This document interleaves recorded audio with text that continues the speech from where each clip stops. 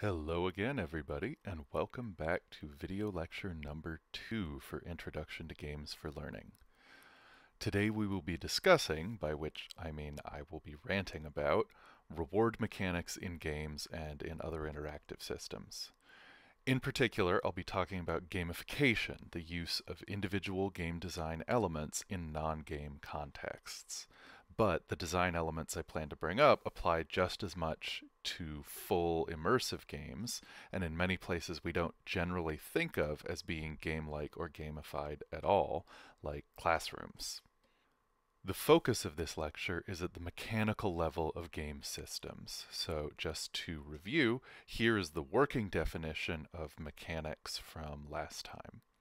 Mechanics are the systems which take player inputs and convert them into outputs in the game. Mechanics are the foundation of all feedback in games, which in turn is the foundation of decision making. Studying mechanics is absolutely fundamental to bringing games into your instructional design process. I don't care what you actually plan to do or what guild you want to specialize in, whether you're adapting commercial entertainment games or using serious edutainment games or creating your own gamification design. Whatever you're doing, you need to be able to identify and analyze and criticize mechanics because that's how you understand the feedback that learners are receiving through your system. So, if mechanics are so important, why is this lecture titled Pablum? First, if you don't know the word, pablum originally meant plain, finely ground porridge, and more specifically, it was food for babies, or people who could only eat a very simple, bland diet. But over time, it acquired a second meaning, which has become the dominant meaning today, as a word for entertainment or activities that are bland, unchallenging, or childish. In other words, the mental equivalent of baby food. And while I will always reject the idea that video games as a medium are all pablum that's rotting kids' brains and have to be tightly restricted, I do have to admit that there are a lot of pablum games out there that have very little redeeming value other than that they are easy to keep playing on your phone until 3 in the morning, despite not really being all that fun. So, why do we do that, and why do designers make those games? You may already be familiar with the idea of a Skinner box. B.F. Skinner was a behaviorist psychologist who did experiments with rats and pigeons where he would put the test animal in a box and hook up some system where they could get a food pellet, or in the more intense experiments, a tiny dose of cocaine, by pushing a lever, doing some other action or series of actions, with the goal of creating a long term behavioral change through positive reinforcement and actually training the animal to acquire new behaviors. So that's where the term was coined. In game design, a Skinner box is a game that is built around delivering a steady stream of those little rewards, only instead of food pellets, they feed the player with points and levels, little hats for their avatar, or in short, with pablum rewards. And they do this because, very simply, it works. If you design something to deliver a regular dose of pablum rewards, you can keep a surprising number of people engaged enough to keep playing your game for a very long time. There's a little tiny thrill we get from seeing some gold coins go into our account or seeing a level counter increase, and it's even better if we get something a little bit tangible like a sticker or a pizza party, even if what we did to get there was not all that challenging or interesting itself. And if the goal of the design is just to get you to spend time on the game or go through the motions of finishing the activity, then just setting up that drip feed Pablum rewards is an easy, straightforward, and effective way to do that. And a lot of well intentioned plans fall into this trap, where the goal is to help people somehow, to develop good habits or connect people with each other or help them learn. But the design relies on these extrinsic rewards to do it, and the result winds up being that people go through the motions just enough to earn those rewards, and the moment the rewards run out, or something that's mildly more fun comes along, they just drop that pablum game and they never go back, and their behavior reverts to baseline. The inspiration to call this the Pablum model of game rewards comes from Scott Nicholson, who has written and presented extensively about gamification for learning, specifically in libraries and museums. And he coined the BLAP acronym for gamification rewards, encompassing badges, levels, achievements, and points. These are all extrinsic rewards. They're not actually a part of the activity itself. They've been slapped on after the fact, hence the blap sound. And Nicholson's main conclusion was that blap rewards can create moderate levels of engagement for as long as the rewards keep coming. But the moment they stop, that goes away, and the intrinsic motivation for players to continue, the desire to keep playing, keep going just for the enjoyment of the activity itself, can actually drop lower than it was before. For example, did you ever participate in that Pizza Hut reading rewards program in elementary school where for every 10 books or whatever you read, you get a free kid sized pizza? It's still going on today. Well, it turns out the kids who already liked to read or didn't dislike it could get free pizza, and that was great. And when they aged out of the program, they by and large continued to enjoy reading as much as they did before. But kids who started out with below average reading motivation, who didn't like to read, would do enough to get the free pizzas, but then when the program ended, or they aged out of it, their long term reading motivation actually dropped because now it was something they never found particularly enjoyable for its own sake. And now they felt like somehow they were getting shortchanged if they read a book and they didn't get rewarded with pizza. It turns out that poor use of game mechanics and feedback systems is not only just kind of bland and uninspiring, it can actually be harmful to learning. So you can read Nicholson's work for yourself in the next couple of levels. But while Nicholson's focus was on identifying design goals for gamification that could produce sustainable positive effects for motivation and learning, meaningful gamification, my goal here is to dig deeper into how these reward mechanics work and see whether they can be used in more productive ways than just as simple extrinsic reward systems to basically bribe people into playing along. Even if you never go on to do anything with gamification yourself after this course, it's important to recognize how some of these common game mechanics work how they get used, and what kind of feedback they actually deliver to players in games, and how to intervene and redesign those feedback loops if necessary. So Pablum is an update of BLAP, where, as you can see, I've rearranged the order and also added two more mechanics for the U and the M. And in the next part of the lecture, I'm going to go through each of these and explain them in more detail and offer some examples of how they appear in different games and some suggestions for how they could be used in the foundation of more nuanced learning design that will actually be fun and engaging on its own and not have to rely just on extrinsic rewards. There's kind of a lot to unpack once we start down this rabbit hole, so it turns out that this lecture is just part one of three. So I'll be talking about points in the second half of this video because those are kind of the basis of everything else. You can frame all of these other mechanics pretty much as just specific uses of points if you wanted to. So there's just kind of a lot of uh, points to cover there. Then in part two, I'll go over the achievements, badges, levels, and leaderboards, which are all mechanics that are used to create and track progress and objectives, and together these form a layer of persistent feedback that can extend beyond the boundaries of the immediate game environment and can carry over in various ways from one game to the next.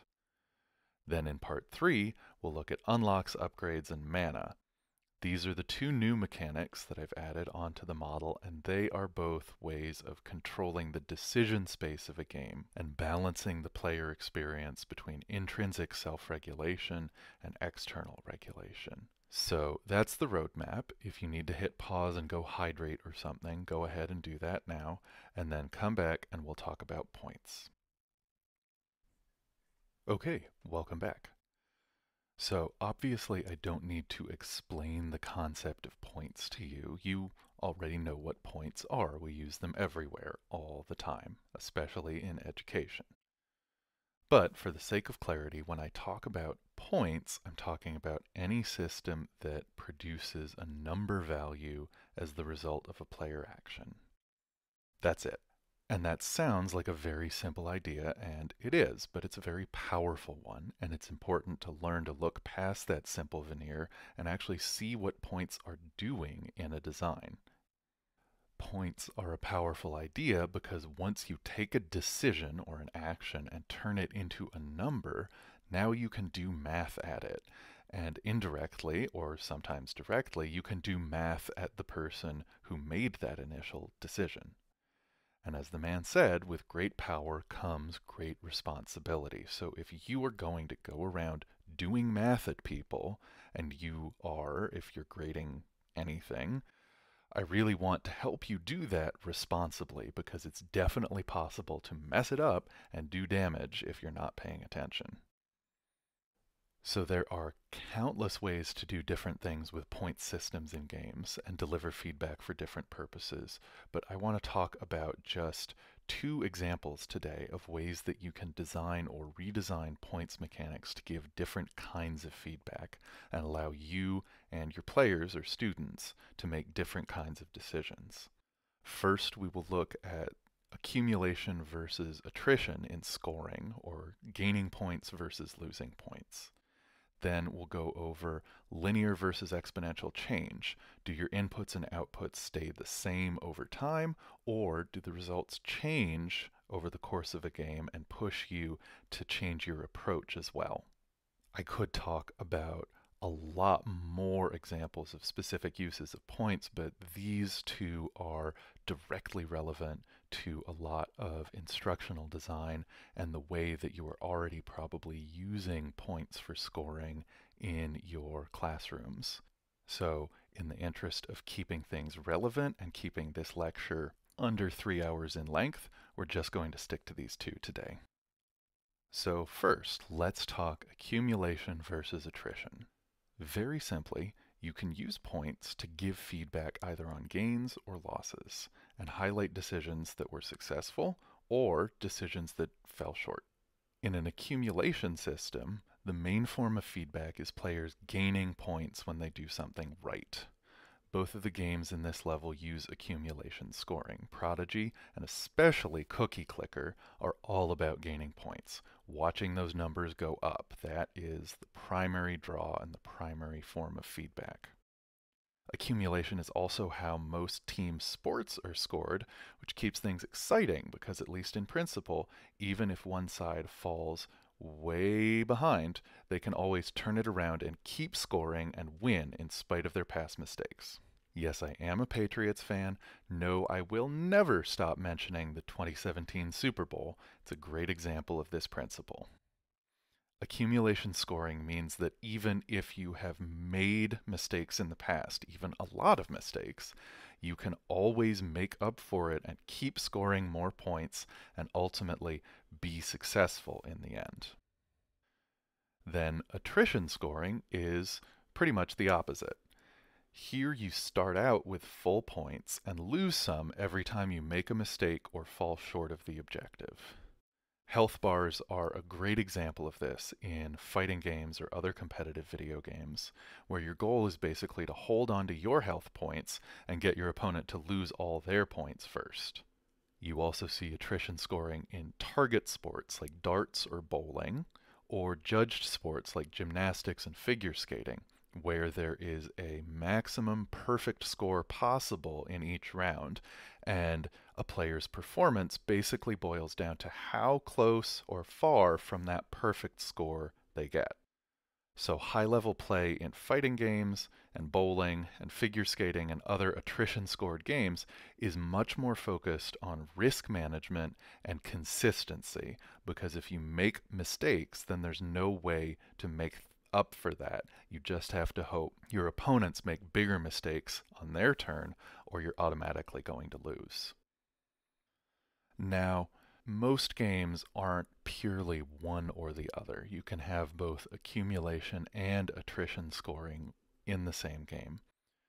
They can be nested inside each other in RPGs like Loop Hero here, where the overall trajectory of the game is to gather different resource points and build up your base, accumulation style.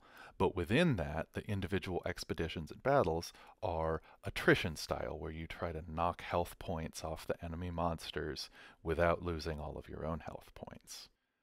I would go so far as to say that most video games do both to some extent in different parts of the game, but generally you can class a given game as primarily attrition or primarily accumulation in terms of the overall play experience and which numbers actually determine the result of the game in the end. So in this course, I've tried to create an accumulation style scoring model where your score is always going up visibly when you check the grade center. And it's always possible to earn more points. And even if you make a mistake you miss something or you fall behind it's pretty straightforward to just try again and keep building that score up and up and up. And this is in contrast to the traditional academic scoring model the 0 to 100 scale which is unfortunately an attrition model if there is a predefined maximum score of 100 that's possible in a class or a marking period or whatever, and the only way to get there is to avoid mistakes, turn everything in, and more or less perform perfectly all the way through, that's attrition scoring. So just to make it a little less abstract, let's say there's a student who gets 85 points out of 100 on an assignment. Now there are two ways to present that and feel about it. One is that they have 85 more points than they did before they handed in the assignment. They've gained points and they are closer to their goal, however that's measured. But the other way is that they have lost 15 points they could have had, and there may or may not be a way to get those points back, and they may feel like they are further from their goal than they were before, even though they've actually done more work. That's attrition. Now, is that bad? Personally, I don't love it, but there are some useful qualities to scoring a game that way. Attrition scoring tends to reward consistency and a lack of significant mistakes. Fans of figure skating know that usually the gold medal is going to the skater who is the most well rounded on all the fundamentals and makes the fewest mistakes in their routines, even if other skaters might have individual strengths or moments of brilliance that outshine the winner. And if that's a goal of your design, if you want to reward well-rounded students more than students with a wider range of strengths and weaknesses, then this can work.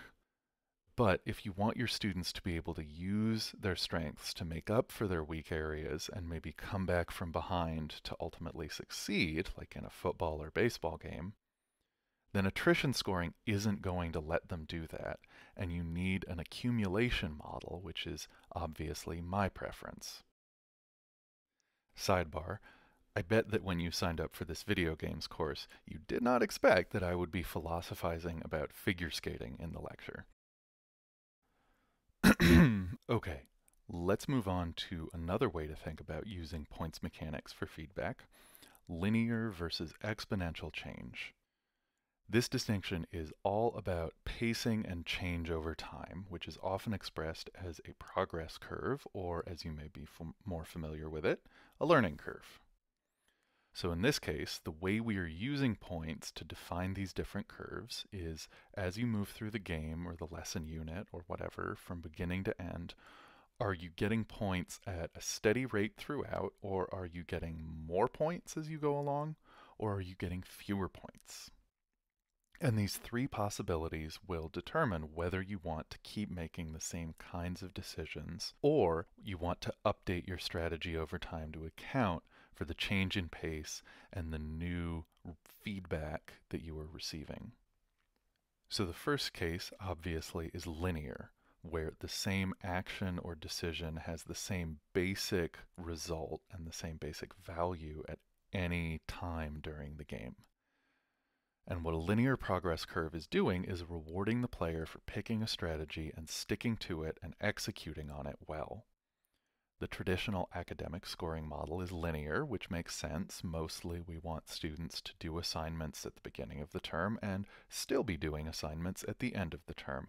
And those assignments will generally be similar in nature, so they are worth similar points values. And any game that's designed to encourage players to perform the same basic actions repeatedly will also have a roughly linear progress curve in terms of points earned for doing the same thing throughout the game.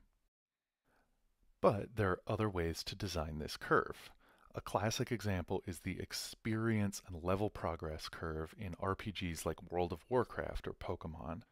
When you start out playing one of those games, you will level up very quickly at the beginning. You can probably go from level 1 to 10 in a couple hours at most. But as you continue, you need to spend more and more experience points for each new level, and so you have to spend more time working towards that goal, and you have to move through the game world to find new challenges that are worth more XP. You can't just stay in the starting area at level 40, slaying the same wild boars you did when you were level 1. So this is an exponentially decreasing curve, the way I've plotted it here, where you need more and more points for each incremental step of progress through the game and consequently, the pace of play slows down, at least in some regards, as you go along. Then the reverse case, the exponentially increasing curve, would be a game where things accelerate as you get closer to the end and you see your key numbers suddenly jump higher and higher towards the end game. Competitive online battle arenas like League of Legends do this, where high powered weapons and abilities take a lot of money and experience points to unlock. So the early game is played at a fairly steady pace, usually, while you build up your resources. But then when you pass that threshold to unlock your endgame abilities, the pace of play accelerates very quickly and it turns into a whole different, much faster kind of game. So you might be saying now, that all sounds very interesting, but what does it have to do with learning? Well, like I said, there's not a lot of variation in this regard in the way we track progress and pacing in education, but that doesn't mean there couldn't be. Let me give you an example from this course. I've set up a linear progress curve with the XP and level system where you need 100 XP to unlock each level, and that's true throughout the course, at the beginning and the end. And I did that for the reasons I already discussed. But I could have done things another way. For example, set it up so the first few levels unlocked very quickly, say every 40 to 50 XP. So you would get access to a lot of course material and a lot of options in the first couple of weeks, but then the rate would decrease, slow down that curve in the second half so that the final levels take much more work to unlock than the early levels. And with the levels being tied to final grades, I could make it so it's actually relatively quick and easy to get to a C but then the distance from a C to a B is further, and the distance from a C to an A is much further than the initial distance just to get from the start of the term up to a passing grade of C. And I have done that slightly in this course, where the grade steps between C minus to B plus are linear all the way up through level 8. But to go any higher than that, you need to complete a masterwork project, which is a significant bump in the amount of effort expected to get up that final level or two. Alternatively, I could have curved things the other way where progress is slower and flatter at the beginning and it takes a lot of effort just to unlock those first few levels and pass that threshold at all. But once you do cross that line, it's pretty simple to get all the way up into the A range from there a lot of so-called weed out courses, like in pre-med or engineering or whatever, are curved this way, where it's difficult to reach that pass point at all. But if you do pass, you're basically guaranteed at least, say, a B. B+. And once again, many games will have both linear and exponential point systems to control the pace and the feel of different aspects of play. Cookie Clicker is an interesting example because the game itself is all about exponential increase and making numbers go up faster and faster and faster. But the costs of new buildings and upgrades are also increasing exponentially, which pushes the pace of play in the opposite direction and slows progress down. But that also gives extra weight to unlocking the higher tiers of buildings, and it's kind of exciting to save up enough to buy a wizard tower and then see your cookies per second number jump way up as soon as you buy it. It really feels like you're accomplishing something, even though it's just a Pablum reward. And we can use points mechanics to do the same things in teaching and to adjust the pace of progress for beginning learners versus advanced learners but all within the same system. You can still have common standards and objectives, but with a system that's automatically responsive to where an individual is currently at, so you as the teacher can be intervening less to keep everybody on the same page. So like I said, these are just two out of many, many ways to think about using points and scoring mechanics to deliver feedback. We'll look at lots more games and more examples of points systems throughout the course, but hopefully this gives you a taste of the kind of game design thinking I want you to be picking up and being able to use to analyze games and interactive systems and criticize them as learning systems as well. So that's it for this part of the lecture.